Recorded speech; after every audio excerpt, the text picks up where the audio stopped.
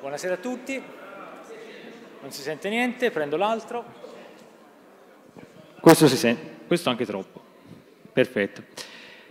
Buonasera a tutti, io sono Luca Ceccarelli, con Ludwig vi accompagneremo nel mondo Linux e non solo. Ora, per chiarirsi, non daremo nessun premio, prima cosa, quindi toglietevelo dalla testa, ehm, però il titolo è molto generico, Linux e il giornalismo, e forse non rende forse l'idea di quello che vorremmo fare oggi, per cui brevemente noi abbiamo pensato di fare un intervento che durasse circa due ore, ma vedremo ora magari se riusciamo a comprimere un pochino i tempi, ma che non fosse un sermone di due ore perché insomma ci siamo messi anche nei vostri panni e sinceramente. Allora abbiamo cercato di dividere le due ore in circa quattro parti, eh, che fossero abbastanza snelle, più o meno mezz'ora l'una, che toccassero quattro punti che noi crediamo importanti se si parla di Linux e giornalismo eh, e quindi il tentativo è quello di fare una cosa che abbia una dinamica abbastanza serrata in modo da non distruggervi il po' dopo pasto, ma cercando di darvi una panoramica su alcuni argomenti che credo al mondo del giornalismo possano interessare. Prima di eh, parlare appunto di applicazioni, di possibilità che Linux e il software libero danno, io procederei un attimo a vedere cos'è il software libero, cosa di cui molto si parla ma che spesso poco si conosce. Si vede bene perché la superficie è un po' piccolina, non so se si legge bene, ma... Allora, partiamo dalla definizione di software libero. Hm? Software libero è un software che contiene quattro libertà fondamentali. Quindi quando si parla di software libero si parla di libertà. Voi sapete che gli informatici sono gente strana, no? lo sappiamo tutti. E gli informatici quando programmano non contano mai da 1 a 4, ma contano da 0 in poi. Per cui quando sono andati a denunciare le libertà del software libero si parte con la libertà 0. La libertà 0 è la libertà di eseguire il programma per ogni utilizzo. Questo è qualcosa che probabilmente anche chi non usa Linux conosce. Eh? Eh, per capirsi, molti dei freeware, quando io scarico un freeware mi dice usalo come vuoi, e quindi probabilmente la libertà zero è qualcosa che si conosce sempre.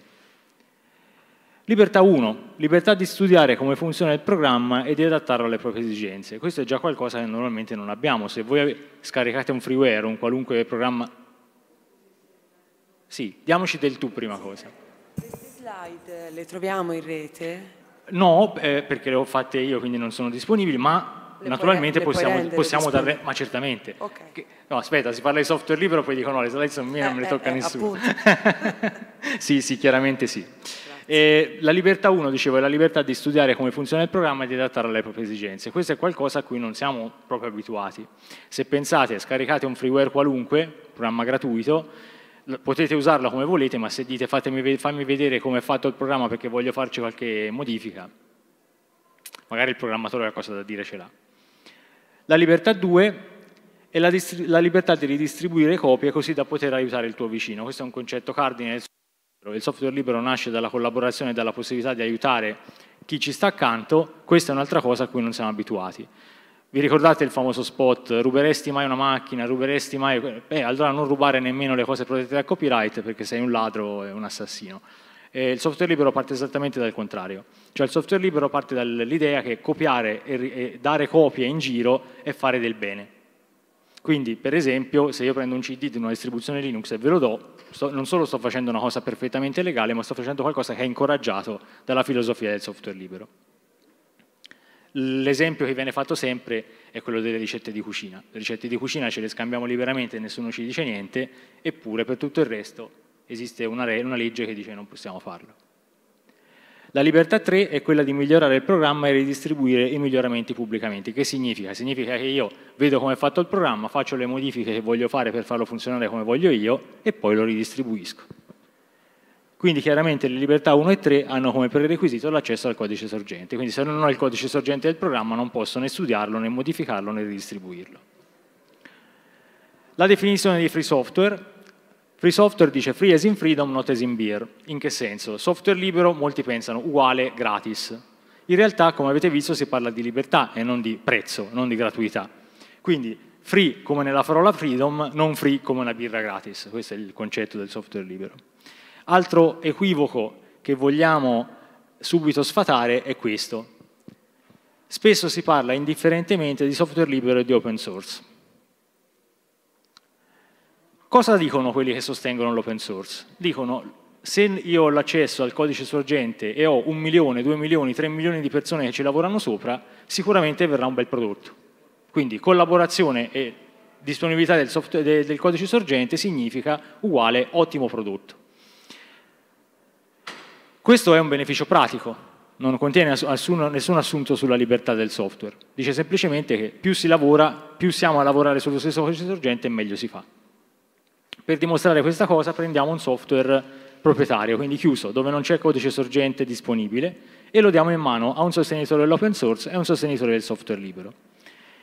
Il sostenitore del, dell'open source dice, beh, questo programma proprietario funziona bene, non mi aspettavo che una software house che magari avrà mille programmatori facesse un prodotto così bello, però funziona bene, lo uso.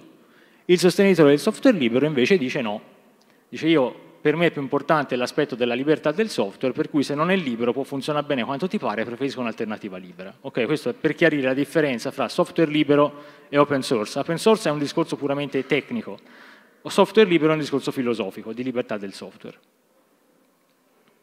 Quindi, eh, la cosa fondamentale appunto è che il primo, quello dell'open source, abbandona la propria libertà se gli si offre comodità in cambio, il sostenitore del software libero mette la libertà al centro e quindi rifiuta la comodità in cambio della libertà.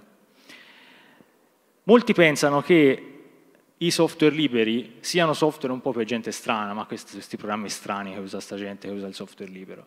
In realtà, come vedete, vi ho fatto tre esempi Firefox, che probabilmente conoscete tutti, è il programma con cui si va, il browser, uno dei browser più usati eh, su internet è software libero, OpenOffice, ora LibreOffice, che è la, la suite Office gratuita e libera, è un software libero. L'ultimo probabilmente non lo conoscete, che è il server web Apache. Il server web Apache occupa il 65% dei siti web. Quindi quando scrivete http www qualcosa avete 6 possibilità e mezzo su 10 che dietro ci sia un software libero che si chiama Apache che vi serve le pagine che state vedendo. Per darvi un'idea, la cosa più difficile da fare quando si parla di software libero è, insomma, noi che ci occupiamo di software libero, la domanda ci fanno sempre è sì, ma quanto è diffuso questo software libero? È una domanda ad una difficoltà estrema, perché? Perché come avete visto all'inizio, il software libero è fatto per circolare, ma se io do un CD a lui, non c'è niente che traccia questa transazione, che poi non è una transazione, è un passaggio gratis. Quindi se io voglio sapere quante persone usano Windows, quante licenze hanno venduto di Windows? 10 milioni, 10 milioni di persone usano Windows. Se io passo 10 milioni di CD, nessuno lo sa, allora ogni tanto vengono, delle, degli, vengono usati degli strumenti per misurare l'efficacia del software libero. Uno di questi è stato nel 2008, 17 giugno, il Firefox Download Day, ovvero Firefox aveva rilasciato una nuova versione e ha messo la nuova versione disponibile esclusivamente su una particolare pagina web, dicendo a questo punto siamo in grado di dare un dato misurabile di quante persone lo usano, perché devono scaricarlo tutti da lì. E in effetti in un giorno ci sono stati 8 milioni di download. E questo dà un'idea effettivamente delle dimensioni anche del fenomeno software libero. Altri esempi di software libero, ora si vede male con contrasto colori, Java, che probabilmente tutti conoscete, Google Chrome, lo vedete questo simbolo sotto? Questo simbolo sotto è un, po', un pochino simile a quello sopra, eh? appena appena. Questo sotto è un software libero che si chiama Chromium, è un browser software libero dal quale Google ha praticamente fatto due modifichette al volo, ha aggiunto i colori nel logo e ci ha fatto Chrome. Mm? Quindi Google di fatto di Chrome ha scritto un pezzo. Android, eh? probabilmente qualcuno non sa, ce l'ha, la ragazza che sta scrivendo ha Android in mano. Eh, questo è software libero. Tutto nasce da un progetto che si chiamava GNU, vi ho già detto che gli informatici sono gente strana. Una cosa che, hanno, che amano gli informatici sono i cosiddetti acronimi ricorsivi. Eh?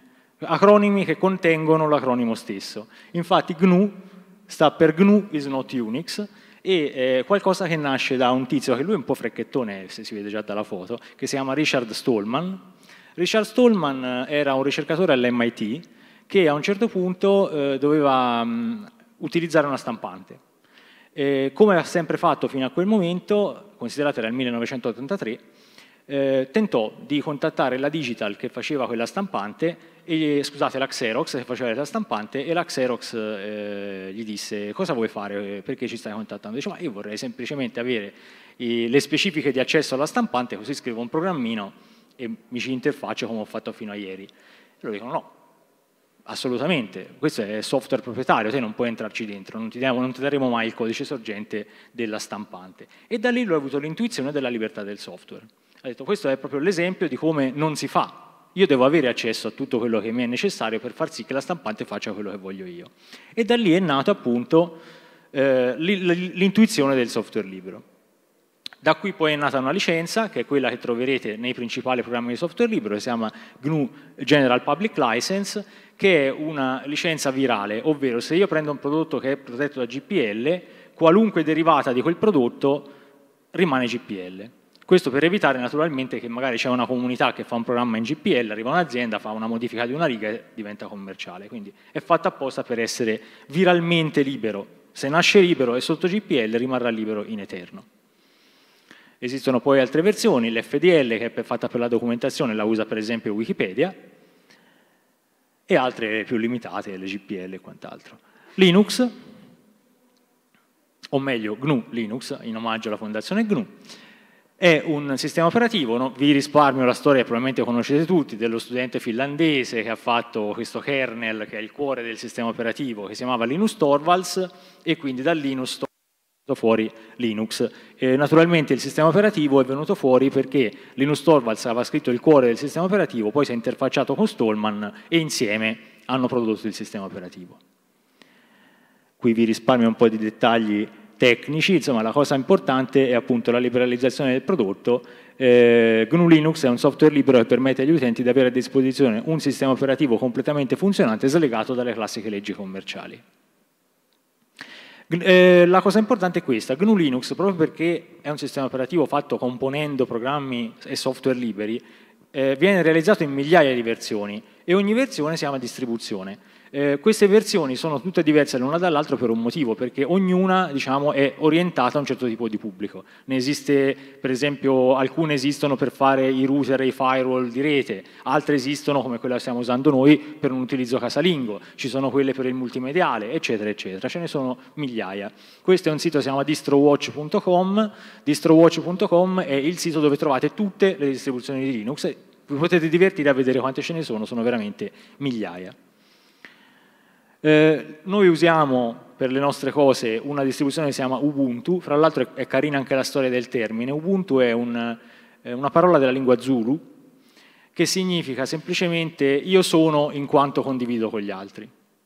Eh, quando si pensa agli Zulu come eh, popolazione arretrata, no? si dice ma sei uno Zulu, in realtà pensate che loro hanno una parola che descrive un concetto che noi riusciamo a esprimere in 10-15 parole e questo dà l'idea anche della profondità di alcune culture che noi invece spesso dissacriamo e che hanno molto molto da insegnarci. Comunque, detto questo, Ubuntu è una distribuzione pensata appunto per l'uso casalingo, ci sono tutte le cose che servono in un normale eh, ufficio o in una casa privata, ha eh, una frequenza di nuove versioni molto elevata, due all'anno, quella, quella, cosa che vedete lì, 15.04, è la versione più recente, che significa banalmente che è uscita nell'aprile del 2015. Ora a ottobre uscirà quella nuova, si chiamerà 15.10 perché è ottobre 2015.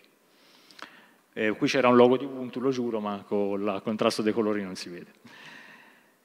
Se non ci sono domande su questa parte, io a questo punto vi darei un video breve, 10 minuti, in cui è proprio Richard Stallman che ci racconta un po' di cose. È un TEDx che ha fatto a Ginevra.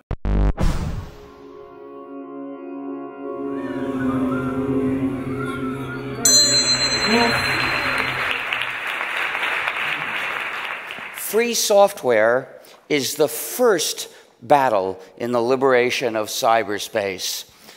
Who controls your computer? Is it you Or is it some big company that's really controlling it? Well, what is a computer? A computer is a universal machine.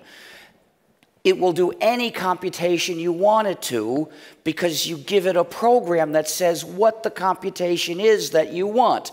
So the computer only knows how to get out an instruction and do it, and get out another instruction and do it. The program has the instructions, it says what to do. so you, by writing the right program, you can make it do anything. Well, almost anything. so, who gives the instructions to your computer? You might think it's obeying your instructions when really it's obeying somebody else first, and you, only as much as that company wants it to, will let it listen to you. With software, there are two possibilities. Either the users control the program or the program controls the users. It's inevitably one or the other. So, in order for the users to control the program, they need the four essential freedoms. And that's the definition of free software. Free software respects the user's freedom and community. Now, we often call it Libre, using the French or Spanish word, pronounce it as you like. The point is, that's what we mean. We don't mean it's gratis. We're not talking about price. We're concerned with your freedom. And we sometimes say free slash Libre to show that. So, freedom zero is the freedom to run the program as you wish for whatever purpose. Freedom one is the freedom to study the source code of the program and change it so it does the computing you want it to do. But what is the source code? Well, every program typically will have two forms. There's the form that you can read and you can understand if you know the programming language. That's the source. That's what programmers write and change. Then there's the executable, which is a bunch of numbers which even a programmer can't figure out. If all you get is the executable, it's a horrible pain in the neck to figure out what it does, and even harder to change it. So, to give you the real possibility to study and change it, they've got to give you the source code. That's a requirement. Well, with those two freedoms, each user separately can make a copy and start changing it and make it do what she wants. That's individual control. But what if you're not a programmer? You look at the source code and you don't understand it. Individual control isn't enough. We also need collective control, which means any group of users are free to work together to adapt the program to what they want. Of course, in the group, some of them are programmers. They're the ones who actually write the changes, but they're doing it as part of the group for what the group wants. Of course, the group doesn't have to be everybody, so others can use it some other way. They're all free to do that. So collective control requires two more essential freedoms. Freedom two is the freedom to redistribute exact copies, to make the copies and then give them away or sell them when you wish. And freedom three is similar, but it's for your modified versions. You're free to make copies and then give them or sell them when you wish. So if you do have these freedoms, then it's free software. The users control the program. But if any of those freedoms is missing, then the users don't control the program. Instead, the program controls the users, and the developer controls the program. So that means this program is an instrument of unjust power for its developer over the users. That means the users don't have freedom. That's non free proprietary software, which we got to get rid of. Well, when you've got proprietary software, what happens? Sometimes the program snoops on the user. Sometimes it tracks the user. Sometimes it restricts the user and stops users from doing what they want to do. You can see that the blue ray is your enemy. Um, sometimes the software remotely deletes books, as Amazon did with 1984. Uh, sometimes the developer compels users to install a harmful upgrade by threatening to take away other functionality if it's not installed, as Sony did. And sometimes they can even forcibly change the software at a distance, as Microsoft can with Windows through the universal backdoor. Um, so sometimes they even sabotage users, as Microsoft does when it tells the NSA about bugs in Windows so it can use them to attack people's computers. Well, what you get is basically with proprietary software, the owner has power over the users and takes advantage of this power, putting in those various malicious functionalities to hurt the users. Of course, they don't do this because they're sadists, they're doing it just for money, for greed. They have various ways that they can profit from having this power over users, which does not make it even the tiniest bit less evil. But they have no shame about it. They have conferences where they talk about the latest ways they can take advantage of users through the power they have. Uh, basically, proprietary software, which in, is now from almost all the users of proprietary software, they're using proprietary malware. It's software for suckers. So how do you, how do you stop being the victim? Formally, you had to stop using computers, but not anymore. Now you can come join us in the free world that we've built. Uh, in 1983, I announced I would develop a completely free software operating system called GNU. In 1992, we had it almost finished, but one piece was missing the kernel. Linus Torvalds in that year freed his kernel Linux, which filled the last gap and gave us the first complete system you could run on a PC, GNU plus Linux. So, unfortunately, having freedom at one point doesn't guarantee you'll keep it. There are over a thousand different variants of GNU slash Linux. They're called distributions. A few of them are entirely free software. Most of them have non free software added because they're maintained by people who aren't concerned about freedom. They'd rather add convenience by, at the cost of freedom. So you have to check which is a free distro. To keep your freedom sometimes requires a sacrifice, sometimes a big sacrifice, as at Lexington. Sometimes, but, but in our campaign, they tend to be little sacrifices. Anybody with a little bit of maturity can make these sacrifices. For instance, you want applications, but some of them are non-free. If you want freedom, you got to do without them. So there may be some inconveniences you have to suffer for your freedom's sake. Then many websites send non-free programs written in JavaScript to the user's browser. If you don't want to run non-free programs, you should install Libre.js, which blocks, keeps out non-free JavaScript. And sometimes servers will offer to do your computing. They say, send us all your data, obviously for suckers. Then the server does the computing and sends you back the results. But you're not supposed to think about what's happening because it's a cloud and you don't see what's going on. Well, you should look. It's software as a service as a software substitute, and it takes away control of your computing. So a large fraction of the world's web servers are running GNU slash Linux and other free software.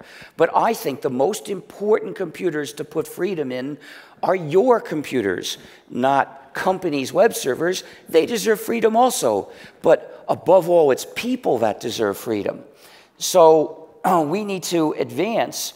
And to do that, we have to cross obstacles. One of them is there are big companies that make a lot of money by having control over users, and they don't want to let us advance. We have to overcome their opposition. Another is that the ma mainstream media don't talk about free software. They have a term that they use to bury these ethical issues.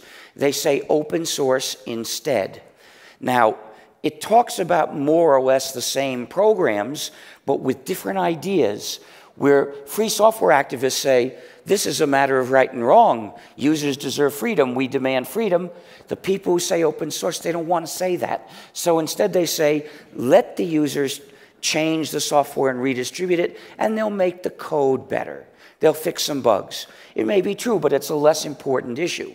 If we want to keep our freedom, we've got to talk about freedom. So say free software, and you're helping us every time. Another obstacle is that lots of schools teach non free software, which is basically like teaching the kids to smoke tobacco. It's implanting dependence, which is the opposite of what schools should do. A school should prepare citizens to live in a strong, capable, independent, cooperating, and free society, which means teaching free software in the school. But there's another reason to do that for education. Some kids want to become programmers. They're curious. They want to know how the programs work. Well, the one who's studying a free software can understand it. The one who's studying a non free program can't learn anything because the knowledge in the non free program is withheld, denied to the students. So, to uphold the spirit of education, the school should make sure its programs are free. But there's an even more important reason Schools should teach the spirit of goodwill, the habit of helping other people. So the class should say if you bring a program to class, just as if you bring cookies to class, you've got to share it with everyone else. Can't keep it to yourself. You've got to share the source code so other people can learn. So don't bring any proprietary software to this class. The school has to set a good example by following its own rule. It should bring only free software to class, except as a reverse engineering exercise. Another obstacle is there's hardware we don't know how to write free software for because they won't tell us how to use the hardware. That's shocking. They want to sell you the product and they won't tell you how to use it. They say, here's a non free program you can use, run it and shut up. Don't bother us. well, how do we find out how to run that hardware? With reverse engineering, you've got to study all those zeros and ones to figure out what they really do and write down how to use that hardware so someone else can write the free program to do it. It's hard work, but it can be done. If you want to make a big technical contribution, that's what you should do. Each new area, activity of life can bring with it new human rights that are necessary. And the human rights depend on each other. If you lose one, it becomes harder to maintain the others. So nowadays, computing is so important in society that the freedoms of free software are among the human rights that society must establish and protect. Thus, how to help? Well, you can write free software. You can organize groups to campaign and persuade schools and governments to move to free software. You can help other people when they have trouble using free software or help them install it. You can say free software and spread the philosophical ideas. Moving to free software is the first step in the liberation of cyberspace. But of course, we also use the internet. We need other freedoms there, like network neutrality and putting an end to surveillance of people in general.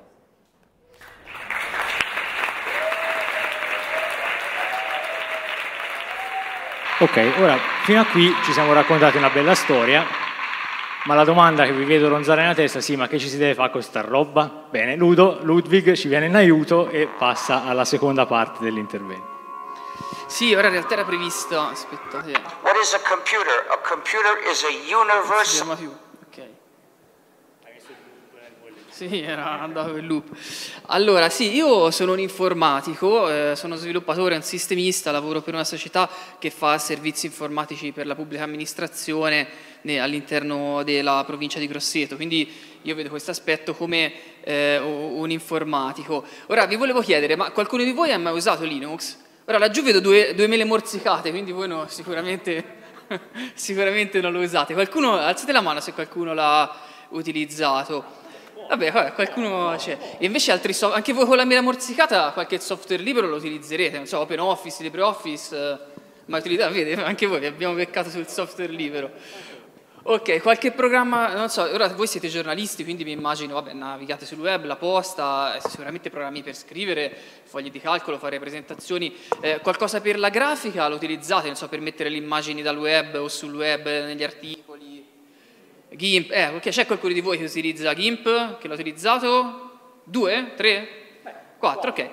Vedete, quelli sono programmi che girano fra l'altro su tutte le piattaforme, perciò eh, diciamo che Potete, uno dei consigli che diamo noi, noi eh, questa cosa soprattutto all'interno della pubblica amministrazione, ma insomma anche per aziende private, lo consigliamo, è quello, ecco, se non volete fare subito il salto per un sistema operativo libero, è quello di iniziare a utilizzare software libero, appunto GIMP per la grafica potrebbe essere, insomma, a seconda delle vostre necessità, LibreOffice, eccetera, in modo che una volta che eh, i software sono gli stessi, li sapete usare, siete padroni proprio del loro funzionamento, a quel punto potete benissimo fare la migrazione completa all'utilizzo di un software libero.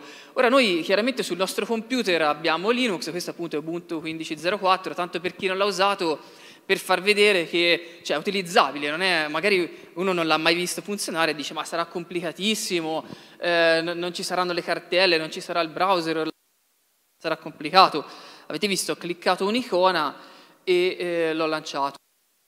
Ehm, questo, questa distribuzione di default monta questa interfaccia grafica dove vedete c'è una barra sulla sinistra, un pulsante in alto nella barra dove eh, può, può, essere configurato, possono venire suddivisi per categorie tutte le applicazioni, un po' come i pulsanti che ci sono negli altri sistemi operativi, il funzionamento è molto simile, ok? Possiamo per chi non l'ha mai usato, sfogliare il file system, le cartelle.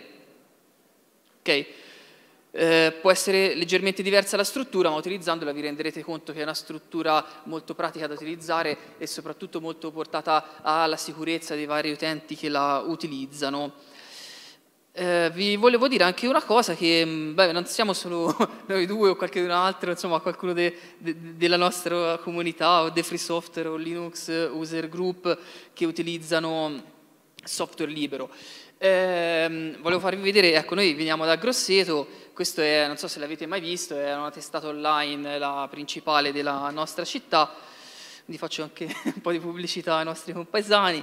Ecco, vi volevo far vedere un articolo che curiamo con la nostra, una rubrica, cioè che curiamo con la nostra associazione, ad esempio che questo è uscito proprio ieri, il numero parla proprio di quello che sta succedendo in Italia ma in tutta Europa e nel mondo. Per esempio il Ministero della Difesa da pochi giorni ha fatto questa scelta, ha scelto di passare al software libero e ha scelto di migrare eh, 150.000 PC, mi sembra, eh, all'utilizzo di LibreOffice, grazie al lavoro di quella che è una delle più importanti associazioni che si occupano eh, di LibreOffice, cioè Libre Italia. Quindi vedete non è una cosa che si può dire ma chi lo utilizzerà sarà il caso di utilizzarlo, beh sono eh, organizzazioni grandissime, la stessa cosa è accaduta in Francia per esempio o in altri stati, anche nei governi locali insomma.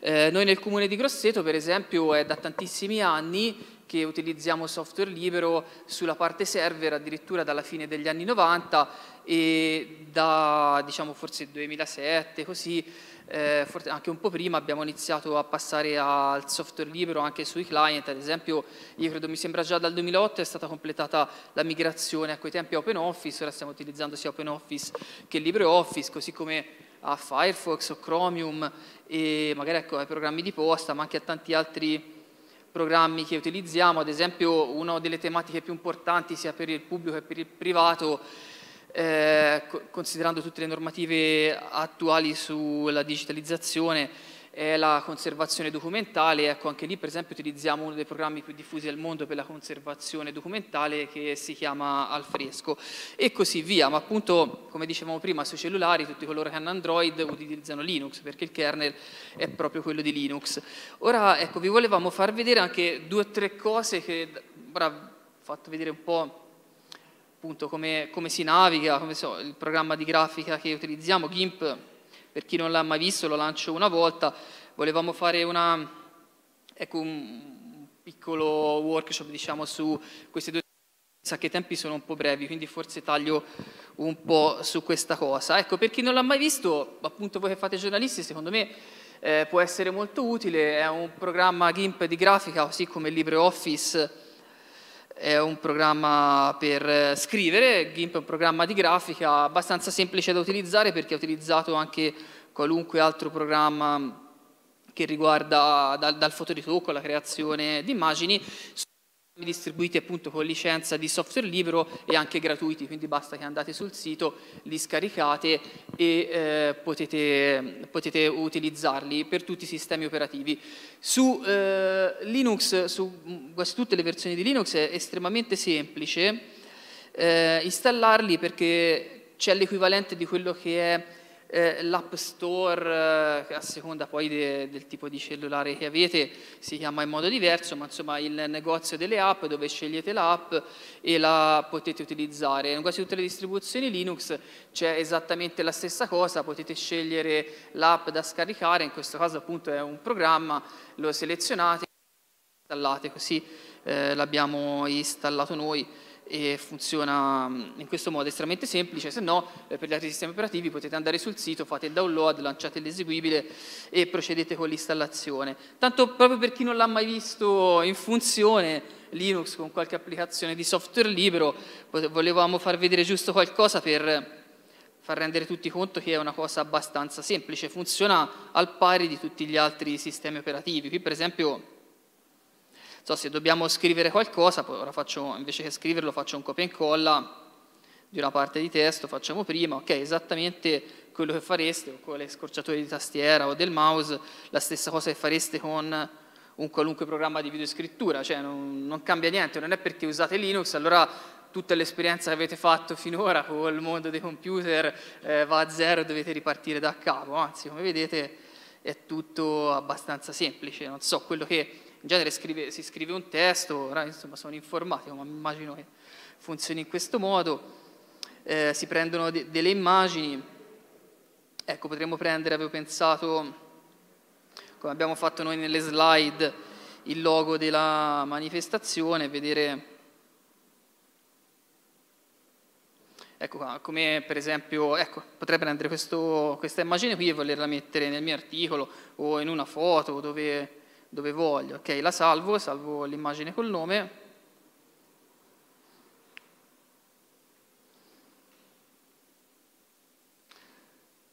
ok, la salvo nella cartella scaricati, si chiama group testata digit 1, Ok, una volta che avete salvato un'immagine dal web, che cosa fate con qualunque programma di grafica? Per aprirla come volete, o sfogliate le cartelle o la trascinate su, sul programma di grafica, esattamente uguale, faccio la stessa cosa e ok, ho a disposizione tutta l'immagine, ora sì, i colori si vedono un po' falsati, ma insomma, tutta l'immagine che ho a disposizione. Vi torna?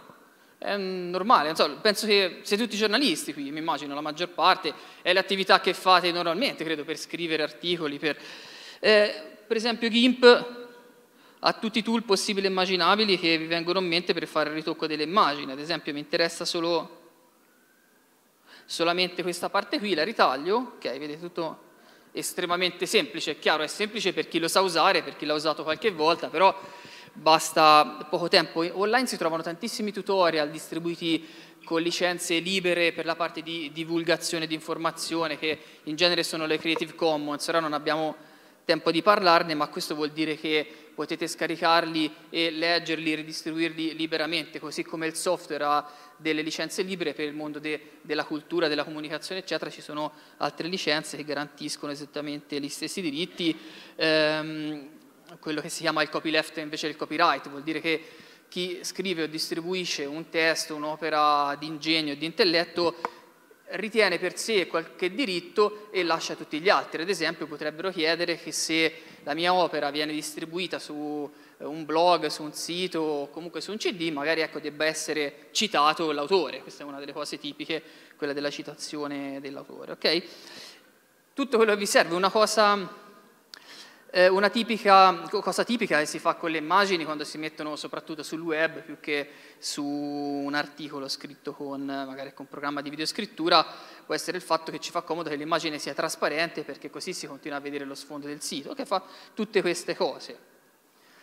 Basta che aggiungo il livello di trasparenza all'immagine, basta che abbiate usato una volta un programma di grafica e eh, GIMP è molto simile insomma, a quelli più potenti che ci sono, posso selezionare la parte che per esempio è bianco, quella che mi potrebbe dare noia, ritagliarla e vedete ottengo la parte trasparente, così posso continuare, ora non è che voglio fare il lavoro di precisione, ma insomma posso continuare a ritagliare l'immagine. Eh, parte, per chi non è pratico di programmi di grafica, quei quadrettini grigi chiari e scuri che vedete rappresentano la trasparenza, cioè se questa immagine si mette sopra a uno sfondo, ad esempio si vede lo sfondo invece della parte grigia chiara e grigia scura. E così via. I programmi di grafica di solito che fanno?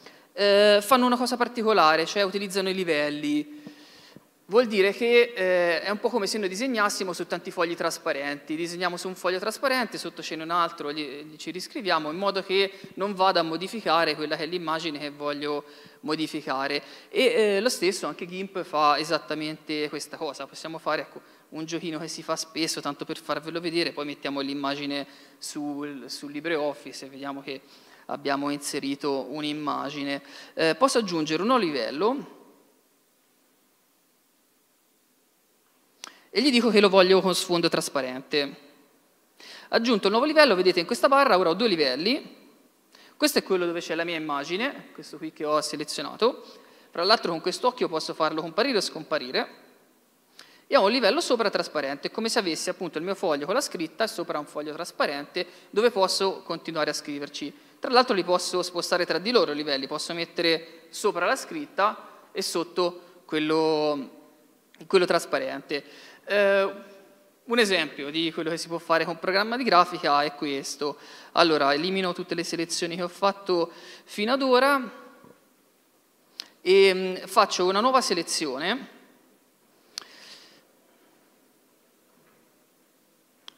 messo, scusate, ho pigiato, ok.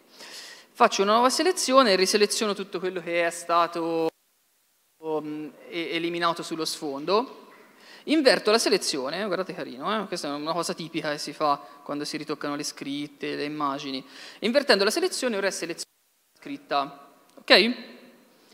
Allargo un pochino la selezione, la faccio un pochino più grossa, allargo, largo di un pixel, due pixel, posso provare, bah, vediamo come viene con un pixel, e ora ho una selezione un pochino più grande di, di quello che era la scritta. Ho selezionato la scritta e l'ho fatta un pochino più grande.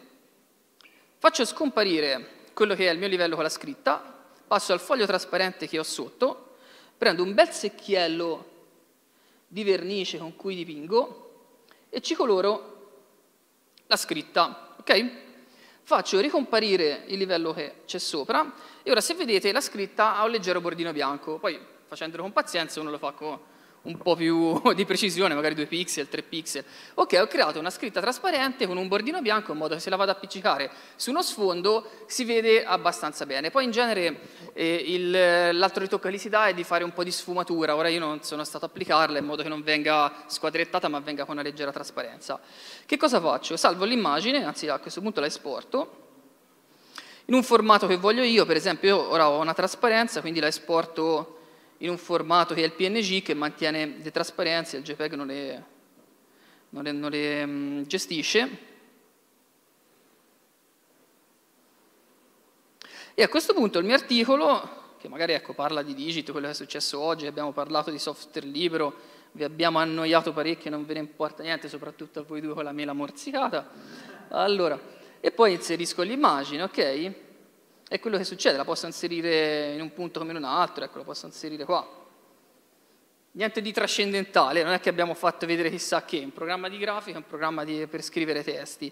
La inseriamo, però insomma le cose che effettivamente sono, penso, quelle più utilizzate, insomma, oltre che andare sul web e controllare la posta.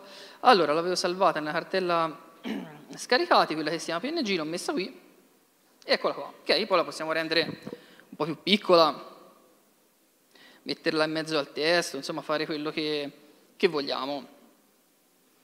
L'utilizzo di due programmi, di solito anzi eh, col software libero la fortuna è che se nella città dove abitate c'è un gruppo di eh, linuxiani, persone che si occupano di software libero e spesso utilizzano, eh, organizzano dei piccoli incontri, dei seminari, dei workshop gratuiti per far vedere come funzionano queste cose in poco tempo le utilizzate senza nessun problema. Poi volendo salviamo il documento e lo possiamo utilizzare per la prossima volta, mandarlo per il web, in genere al Giunco glieli mando ecco, in questo modo un po' più organizzati. Insomma. Però ecco, tutto questo, niente di trascendentale, niente di particolare, per farvi vedere che è un sistema operativo dove le cose si fanno in modo semplice, basta ecco, prenderci un po' la mano e si utilizzano senza nessun problema.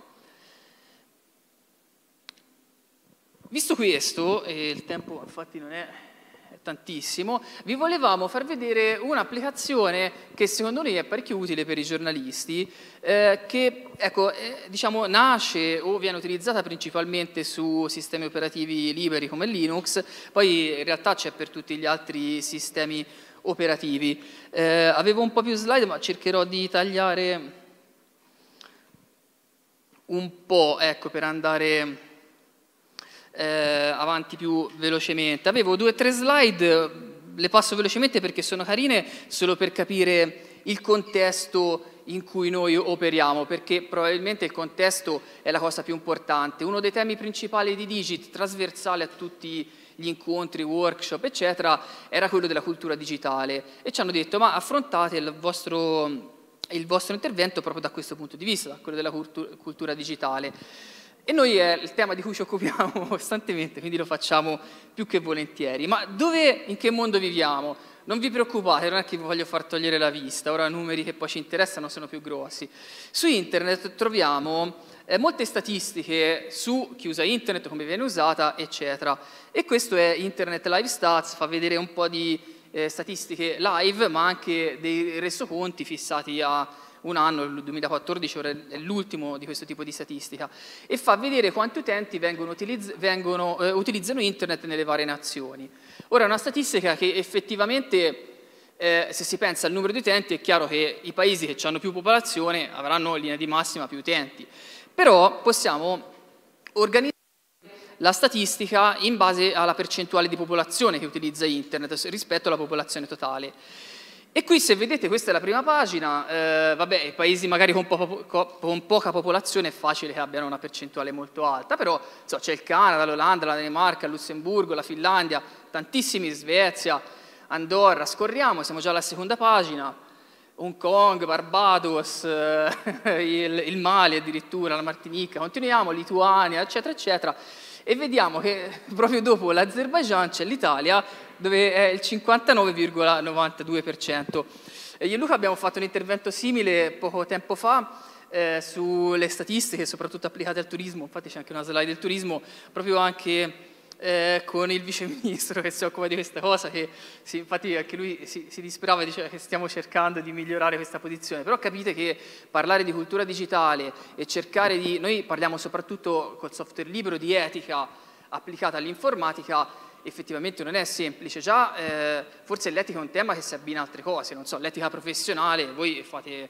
anche già all'interno di questi corsi dove prendete crediti per le varie cose, sull'etica sicuramente avete, de- e così tutte le categorie professionali. Poi nella vita si capisce bene quello che è l'etica. Nel software è più difficile, forse anzi magari eh, prima che, so, per chi non segue l'ambiente, del software libero, eh, diciamo anche l'etica al software, quindi probabilmente ecco, è, è, una cosa che è un pochino particolare. Eh, altri temi, le imprese, queste sono state pubblicate da poco su Repubblica, queste statistiche, le imprese, la percentuale delle imprese attive nel commercio online, insomma l'Italia vedete non è messa abbastanza bene, queste sono le ultime uscite, sono quelle del 2003. Eh, questo è un altro indice molto importante che fa vedere vedete un'unione tra quelle che sono la connettività, le competenze digitali, attività online, integrazione di tecnologie digitali e la digitalizzazione della PA. E questo qui che è il colore rosso è il peggio, eh? chiaramente più, più è verde e più vuol dire che siamo messi meglio in questa classifica. Nel turismo si vede ancora meglio questa cosa, per esempio queste sono delle statistiche che sono uscite da poco e fanno vedere eh, la connettività che viene data dagli alberghi, vedete in Italia non è che interessa a molti dare connettività gratuita, insomma sembra, qui si legge un po' male, mi dispiace, con, con la luce, e invece vediamo che per esempio dalle statistiche le ricerche di connettività da parte di chi vuole un albergo, che vuole eh, prendere una camera, eccetera, sono altissime, quindi siamo proprio veramente agli opposti. Queste sono statistiche che mi hanno dato degli amici del, ehm, del, CNR, del registro IT, che sono un po' indicative e fanno vedere un tasso di penetrazione che è di, eh, di internet all'interno della, della Toscana e delle varie province, ma vedete anche qui che ci sono delle province, insomma la Toscana è abbastanza avanti, è terza in Italia, poi la situazione toscana è particolare, vedete che insomma, io che vivo a Grosseto questa cosa non la vivo benissimo, non siamo messi molto bene. Quella linea laggiù, eh, arancione rossa, è la media nazionale. Questa è per le persone fisiche e, beh, insomma, una statistica quando andiamo alla diffusione internet tra le imprese, la mia provincia è proprio quella più disastrata, però invece in Toscana ci sono province che se la cavano abbastanza bene, quindi eh, dipende anche da che zona del territorio si opera. Ora, volevo, vado avanti, insomma se abbiamo iniziato più tardi vado avanti velocemente, parlando che tutte queste cose che abbiamo visto finora influiscono pesantemente sulla cultura digitale e su come ci si muove sul territorio, quindi bisogna capire bene sia l'amministrazione pubblica, sia eh, le agenzie di comunicazione, insomma, quelli, quelli, che ci sono, quelli che riescono a lavorare, sia le aziende private che poi fanno uso dell'agenzia di comunicazione, degli uffici stampa, ecco, quale strada si può intraprendere? Qualcuna noi ne proponiamo, eh, non, è, non, è, effettivamente facile, bisogna cercare di, di, di, farla questa informazione digitale, questa alfabetizzazione, anche perché vedete personaggi importanti ne parlano molto e dicono non è per sempre, non è che una volta che siamo informati questo rimane per sempre, ok?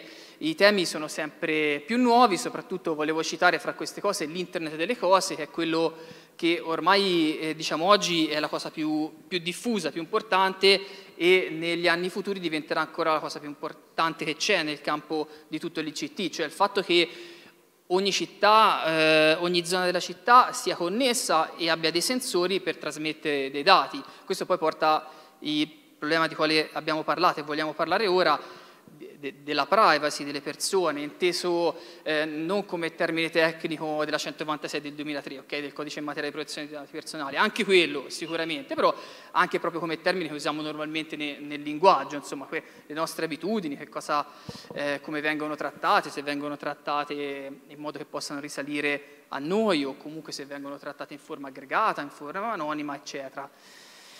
Salto perché se no non ce la facciamo. E ecco, questa è la cosa che volevamo mostrarvi, soprattutto applicata al software libero. Per esempio, se eh, navighiamo su internet, se utilizziamo strumenti, soprattutto immagino voi giornalisti, certe volte vi capiterà, eh, non so se qualcuno è andato all'estero, in zone particolari, ma potrebbe succedere insomma, anche in Italia, eh, dove naviga, le mail che manda, la messaggistica che utilizza, gli permette di avere quella che appunto, fra virgolette, chiamiamo privacy, cioè il fatto di rimanere anonimi, anche mi immagino per fare quello che è il giornalismo d'inchiesta, per fare ricerche o per comunicare con la propria redazione. Ecco, uno strumento molto importante per fare questa cosa, che ci garantisce una parte di questa cosa, è Tor, ok? Il router a cipolla. Bene, infatti il simbolo è la cipolla. C'è qualcuno di voi che ha sentito parlare di Tor? Ok, l'avete mai usato? Sì. Ok, ottimo. Allora, per chi non lo sa, semplicemente, semplicemente, si fa per dire, perché a livello tecnico non è semplice, però spiegarlo è abbastanza semplice. Tor non è altro che un sistema per navigare che, che utilizza tantissimi nodi sparsi per il mondo.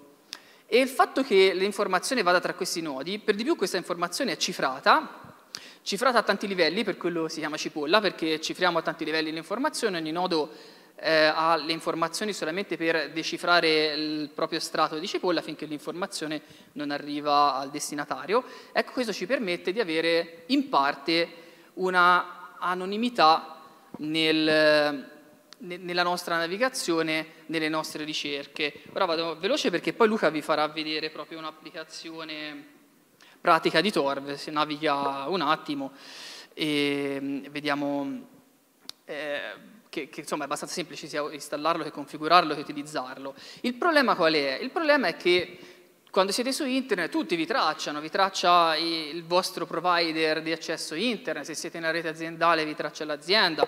Ora noi siamo connessi con Access Point, quando si fanno queste prove probabilmente la polizia postale verrà e ci, ci arresterà. Insomma, tutte queste. E per di più ci sono gli attacchi, per esempio basta che un informatico si metta nel mezzo tra chi eh, invia dati e chi riceve dati, l'attacco tipico che si chiama man in the middle, proprio perché è nel mezzo tra, due, eh, tra le due persone che comunicano, ecco lo stesso può rubare i vostri dati. Eh, fra l'altro, qui ho citato Calamari, poi ho visto che in un'altra, non so se oggi o domani è qui a parlare, e lui sostiene che nella rete di oggi la privacy è massacrata e Tor è uno dei modi per riuscire in parte a, a risolvere questo problema, anche se il problema più grosso spesso siamo noi utenti, che anche distrattamente, certe volte per, per, per mancanza proprio di tempo, di voglia, non, stiamo così attenti a quello che può succedere. eh, salto tutte queste citazioni. Fra l'altro, ora Luca vi farà vedere questa cosa, che se navighiamo con Tor, cioè se non navighiamo con Tor possiamo sapere che siamo tracciati, non siamo anonimi, se invece abbiamo gli strumenti adatti, a questo punto ci viene detto, guarda, sei anonimo e quindi alcuni dei tuoi dati possono non essere tracciati. Come funziona ve l'ho spiegato, vi faccio vedere solo un disegnino che lo riassume. Noi siamo Alice, quello lassù è un esempio tratto da molti siti americani che mm, spesso utilizzano Alice, Bob, eccetera, perché iniziano con la A con la B, quindi se noi vogliamo aprire una connessione dal nostro computer ci colleghiamo alla rete di Tor, conosciamo i nodi e poi attraverso connessioni cifrate la nostra comunicazione arriva al destinatario. Se facciamo un nuovo tipo di comunicazione, vogliamo andare su un altro sito, comunicare con un'altra persona, cambiano sia i nodi eh, da quali passiamo, chiaramente, le cifrature e la destinazione. Quindi questo è in pratica il funzionamento di, di questa rete.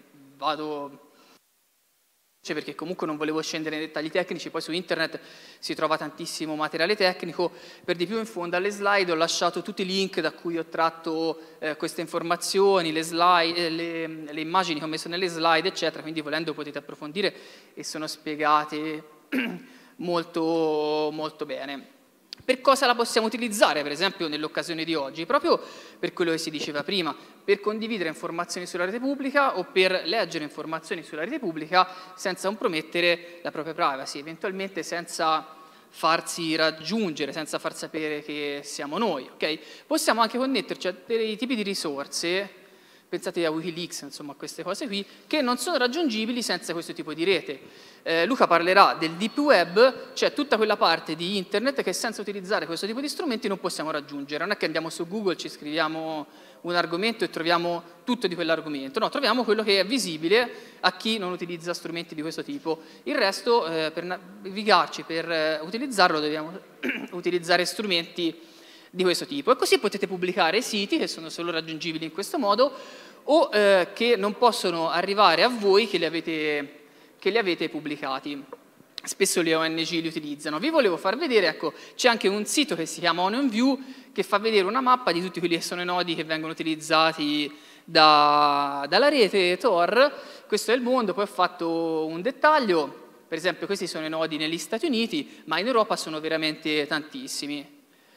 Questa è la Toscana, in Toscana non ce ne sono tanti, però già il fatto che ce n'è qualcuno insomma, è significativo, vuol dire che qualcosa, che qualcosa c'è. E poi non ci dimentichiamo che tutti questi nodi, non è che ci sono aziende che ah, pagano del personale per metterli su, in realtà sono tutti nodi gestiti da volontari o da attivisti, chiamiamoli come vogliamo, che mettono a disposizione il loro PC, il loro software, perché quella, quel, il proprio computer faccia da nodo per la rete e quindi si possa fare tutta questa serie di connessioni criptate su più nodi possibili eh, Luca vi parlerà del deep web. Ecco, una cosa importante è che questa, non pensate che utilizzando Tor o strumenti simili possiamo risolvere tutti i problemi possibili di anonimato, perché non è così. Il nostro computer, a seconda del servizio che utilizziamo, trasmette tantissimi tipi di informazioni e Tor non le può bloccare tutte. Spesso vengono utilizzati altri strumenti che sono dei proxy. I proxy non sono altro che o strumenti software o software più hardware che si mettono di mezzo tra voi e poi la comunicazione che fate e possono avere tantissimi scopi. Uno tipico è quello anche qui dentro, la rete fisica, cioè qui quella che vi ci connettete col cavo o col wifi, ha un proxy ma per tutt'altri motivi, per tracciare la vostra connessione, per controllare quello che state facendo, per bloccare alcune attività, certe volte per, vengono utilizzati per motivi di caching, eccetera. Eh, in questo caso invece ci sono dei proxy che fanno la stessa cosa, ma vengono utilizzati per controllare la connessione e bloccare tutte quelle cose che potrebbero, tutte quelle informazioni che potrebbero passare dal vostro computer a altri computer in ascolto e dare la possibilità di capire chi siete. Ecco, se utilizzate insieme questi strumenti vi danno una buona garanzia di anonimato, anche se non è mai completamente certa questa cosa. Ora passo la parola a Luca, a questo punto vi fa vedere un esempio di utilizzo della rete Tor. Sì, prima di quello vorrevo, siccome spesso quando si fanno queste presentazioni lo sguardo che incontriamo è sempre quello delle persone che dicono ma voi siete, dicete queste cose perché siete dei paranoici, matti, esaltati, forse in parte è vero, però insomma, no, allora volevo farvi vedere un video velocissimo con il quale appunto introdurre anche poi tutto il resto, ma che comunque faccia anche un po' da conclusione di quello che aveva detto Ludo.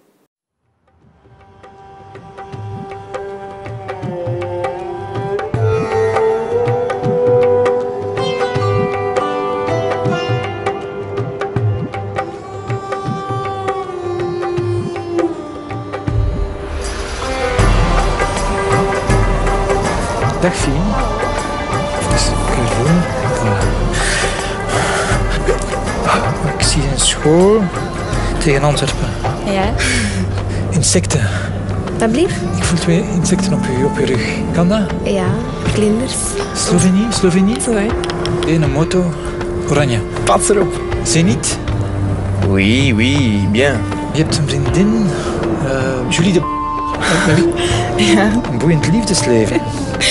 Drie, vier zelfs. De vierde, daar zwijg ik meestal over, dus dat weten niet veel mensen. Hoe is je spierscheur? Maison rouge, balcon blanc. Ja.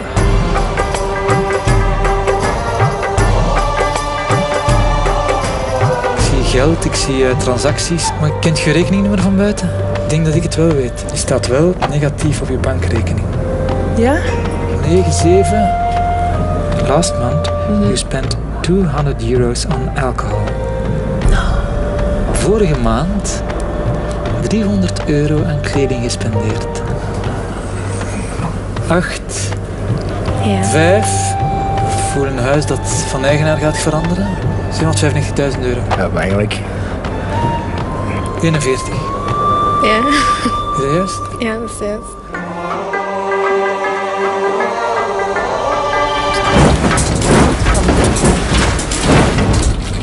Oh my god. Oh nee. Ah, dat is ik weet niet hoe eng.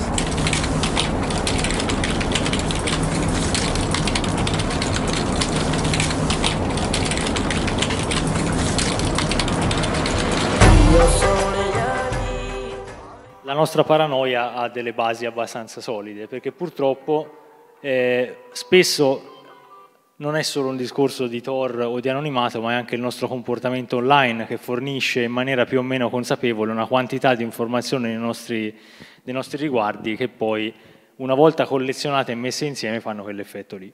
Mm.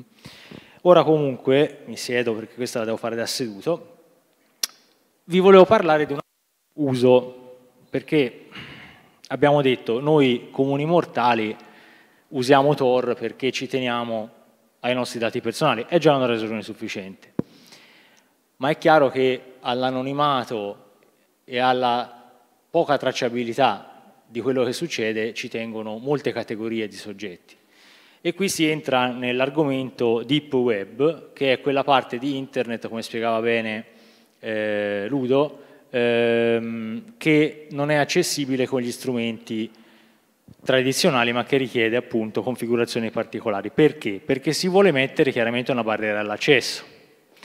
E una barriera all'accesso ha un campo piuttosto esteso. Le stime, perché purtroppo bisogna andare con le stime, dicono che quello che noi vediamo, che non è solo quello indicizzato da Google, eh, tutto quello che noi riusciamo a raggiungere, è circa il 45% del contenuto che c'è su internet. Il restante è nascosto, criptato.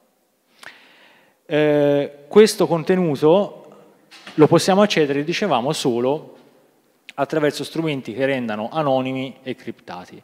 Tor è lo strumento principe, esiste un browser che è il Tor browser che eh, la rete Tor ci consente di accedere a questa parte. Eh, I link che sono, se riesco ad andare sul desktop, i link che sono sul deep web non sono il classico www per capirsi, ma sono fatti in un altro modo. Ora me ne sono segnati alcuni, anche per farvi vedere qualcosa perché... E sono link fatti così. Punto .onion, ovviamente, visto che Tor è una cipolla, non possono essere punto .onion. Eh, questi sono alcuni indirizzi che vorrei farvi vedere oggi e sono indirizzi del deep web.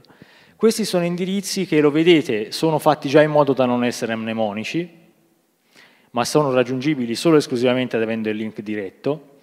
Sono link che cambiano continuamente. Il motivo per cui mi sono fatto il documento è questo fondamentalmente, perché eh, nei giorni scorsi mi sono guardato tutti gli indirizzi che vi avevo accumulato, ho trovato che il 70% non esistevano più, quelli che funzionano me li sono messi in un documento, almeno evito di farlo davanti a voi, se no ci si sta un giorno.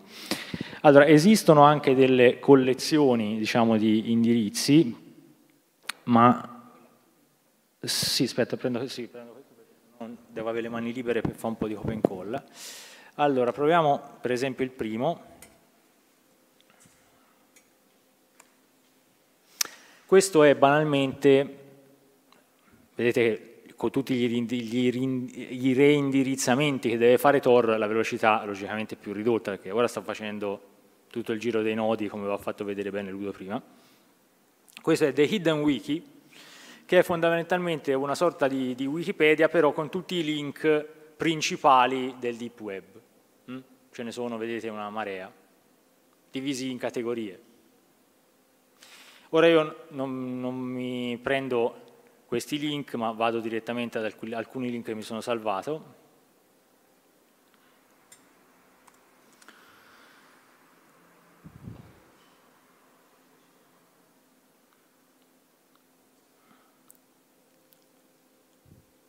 Ok.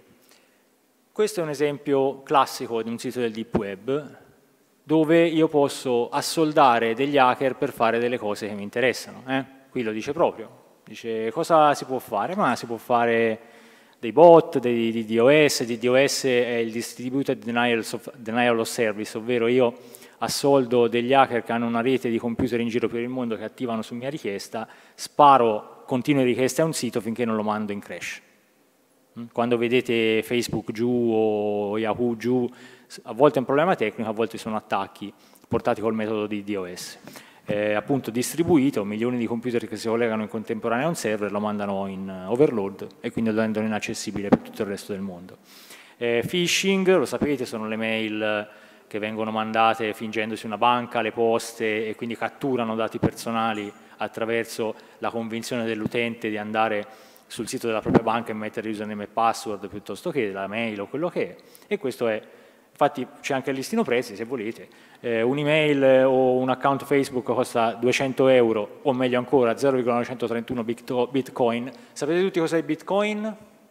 Bitcoin è una moneta virtuale anonima e criptata. Io posso con vari gateway convertire la moneta euro, dollari o quello che è in bitcoin, viene fatto un portafoglio digitale. La moneta è assolutamente anonima, per cui le transazioni in Bitcoin non sono tracciate in nessun modo. Quindi, ora lo vedrete spesso, sul deep web si paga quasi esclusivamente in Bitcoin, in modo che non sia tracciato in nessun modo chi riscuote questi soldi né chi paga. Quindi con 0,931 Bitcoin, il Bitcoin ha una fluttuazione come tutte le valute, eh? queste sono le fluttuazioni attuali. Eh, 0,931 Bitcoin posso avere un attacco a un'email o a un, a un account Facebook, se invece voglio qualcosa di più serio, eh, rovinare una persona, spionaggio, attacca un sito web, 2,328 bitcoin o 500 euro. Mm. Vediamo qualcos'altro.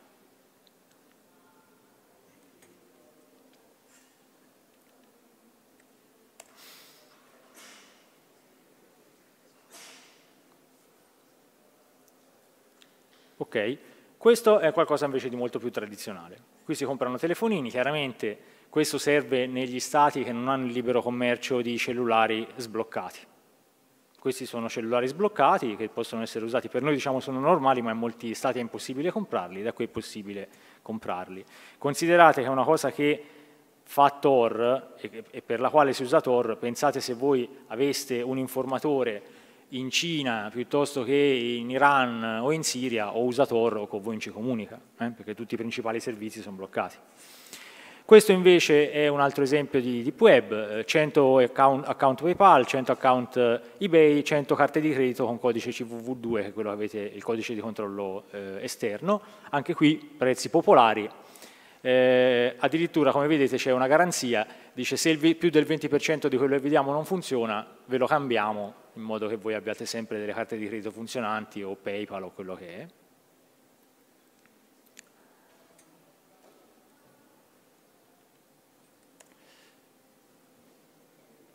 Per chi se lo chiedesse, sì, la maggior parte di questi siti sono delle truffe. Per chi se lo chiedesse, la sì, la stragrande maggioranza di questi siti sono delle truffe. Cioè io pago e non riceverò un bel niente. Eh, per questo, ora questo non ve lo faccio vedere perché banalmente l'ho fatto da casa e non volevo inguaiarmi, ehm, ci sono delle comunità di forum fondamentalmente nelle quali ci si iscrive e lì si scambiano diciamo, i link buoni da quelli meno buoni. Quelli che si, so, si trovano, per capirsi, col wiki che ho fatto vedere prima, 9 su 10 sono scam, quindi buttate dei bitcoin eh, e non avete niente in cambio. Mm. Ecco perché è fondamentale quando si va nel deep web introdursi nella community. Ecco, questo è un altro bel sitarello dove posso comprare la bubble gum che vedete qui su, posso comprare un bel tocco appena arrivato dal Marocco, eh? beh, insomma 50 grammi, 200 euro, non è nemmeno un prezzo disonesto.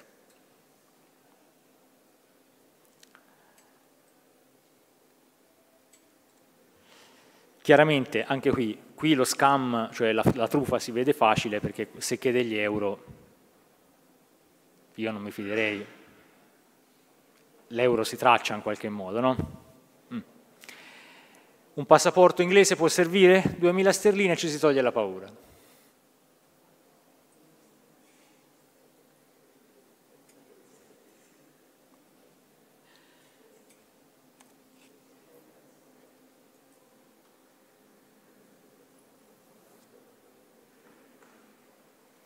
Se poi preferite gli Stati Uniti, con 5.900 dollari vi danno passaporto, numero di sicurezza sociale, patente e certificato di nascita. Fra l'altro con la possibilità di mettere il proprio nome o anche un nome di fantasia, così ci si fa anche una bella identità nuova. Averla di scorta fa sempre comodo.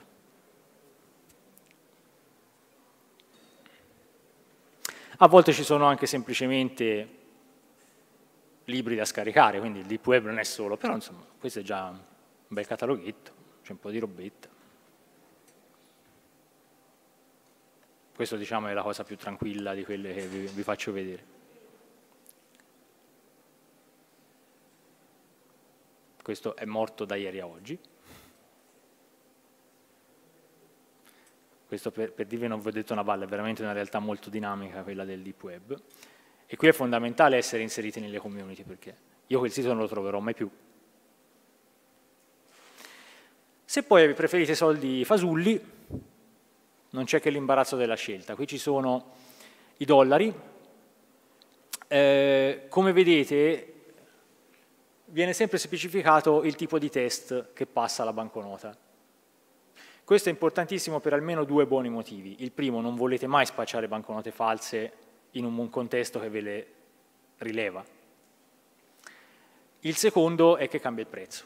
Eh? Ora questo lo vediamo anche più avanti.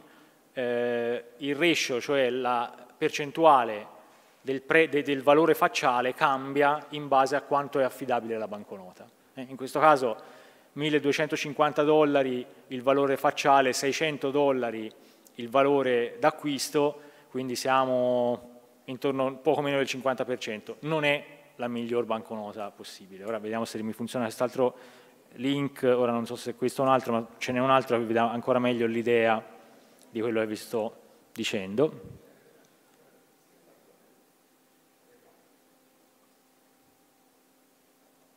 No, questo è un altro di elettronica, come vedete c'è un po' di tutto. Capite bene perché questa roba non può stare sul web ufficiale. Mm, credo sia di facile, di facile comprensione.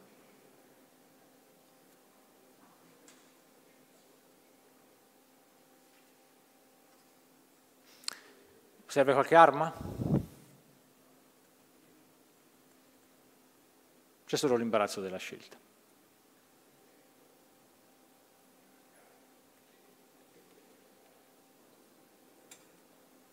Chiaramente non vi aspettate di trovare un seriale su questi oggetti.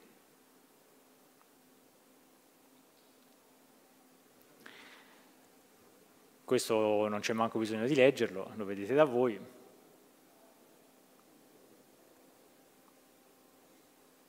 psicotropi, eccetera, eccetera, eccetera, eccetera, eccetera.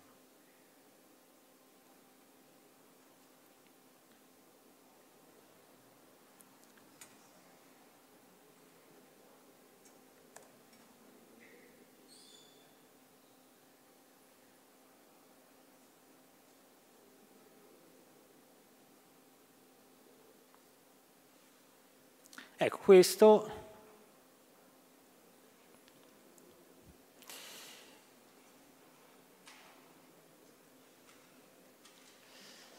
passa i raggi ultravioletti, passa il test della penna, funziona con le macchinette automatiche.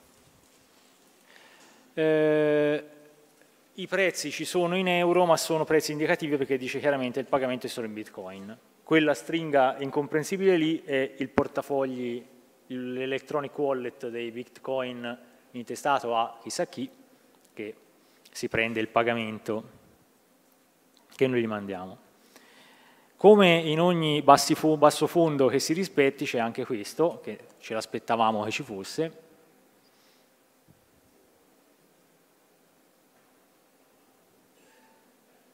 ovvero le scommesse truccate.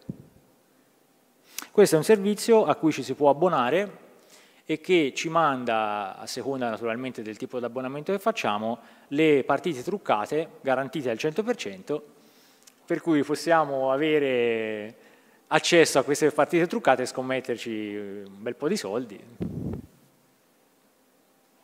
Però non ci abbiamo mai provato, però se qualcuno di voi ci vuole provare, se funziona. Ok, siamo quasi in fondo, poi ok volevo farvi vedere anche questi ultimi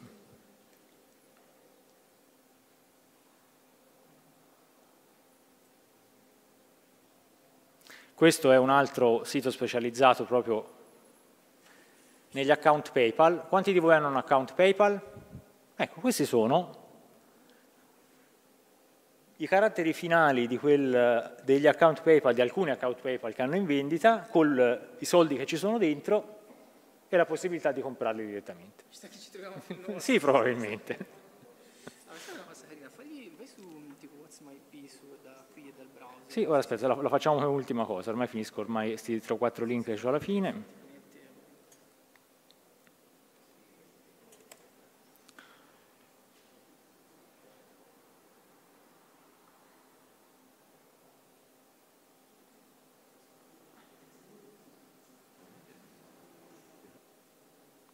Questo è il sito più brutto, ho scelto quello meno brutto, ok? Ma per farvi capire cosa si nasconde nel deep web.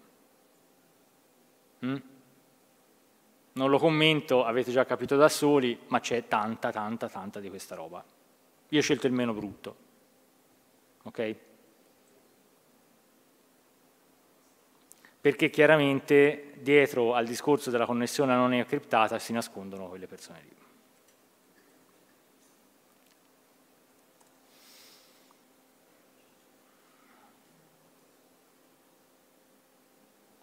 Qui ci sono altri wiki, questo è in russo, con altri link di web. E questo invece è un altro sito, questo addirittura è nella rete internet normale, dove ci sono altre raccolte, altre raccolte di link. Eccolo qua. Mm. Chiaramente più il link è scoperto, meno valido è il sito che c'è dietro. Ora, eh, questo servizio, com, org, org mi sembra, mm. questo servizio dà l'IP della macchina da cui navighiamo. Se io vado ad aprire Chrome e faccio la stessa cosa,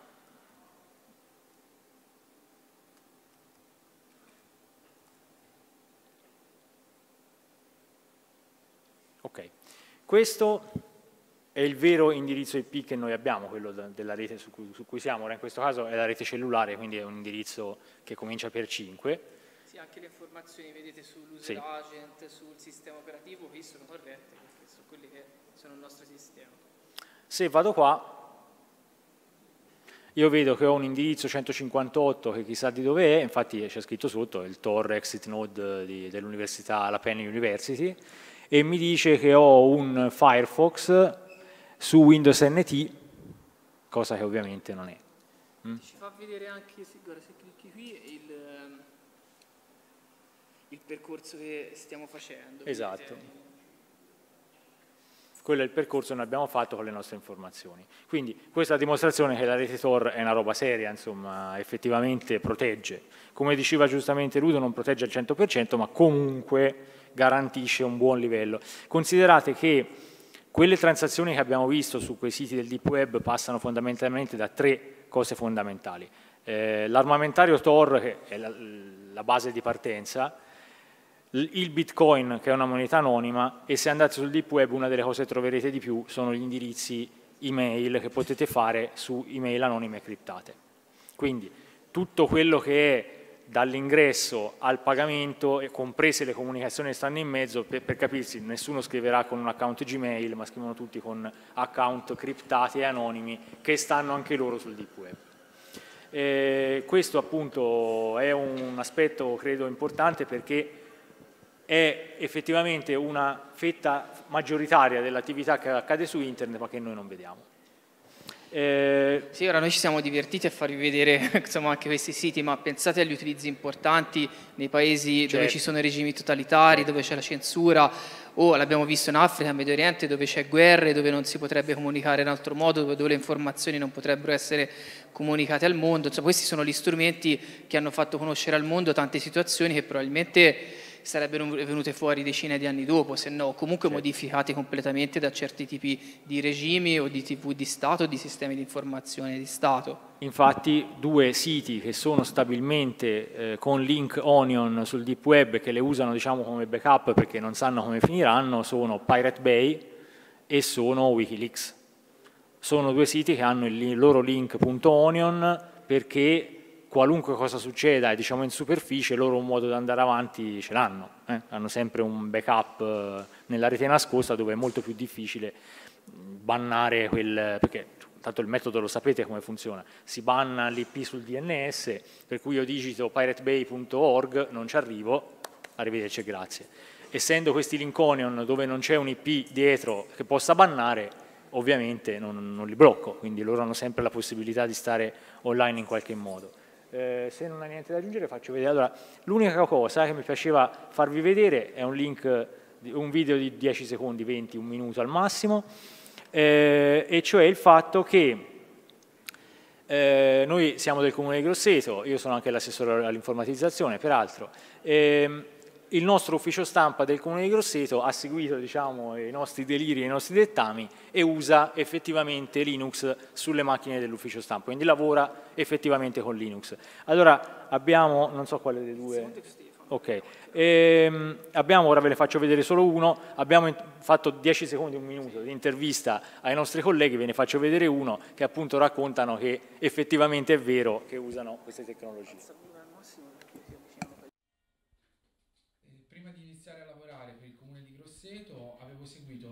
Corso eh, di introduzione a Linux organizzato proprio dal, dal Comune di Grosseto, un corso gratuito di, eh, di introduzione e di conoscenza al nuovo sistema operativo.